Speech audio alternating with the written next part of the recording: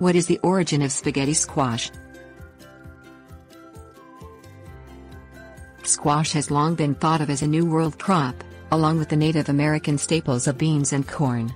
However, while many squash varieties are native to the Americas, spaghetti squash has its origin in the Far East. History Vegetable spaghetti, as it is sometimes called, originated in China. It was introduced to Japan in 1921 by a Chinese agricultural research facility, according to the Kanda Seed Company. It was first sold commercially by the Sakata Seed Company of Japan. The Burpee Seed Company brought it to the United States in 1936, where it gained limited popularity. It was widely grown in victory gardens during World War II, but only became an American favorite during the late 20th century. Benefits Uses Spaghetti squash I named for the spaghetti-like strands that are loosened from the cooked skin.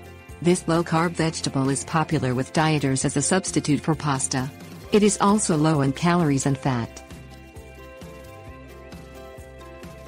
Names Varieties As seed growers develop hybrid varieties of the squash, interesting names appear on the table. Orangetti, Stripetti and Hasta La Pasta all have different flavor variations and growing habits, but are still basically the vegetable spaghetti.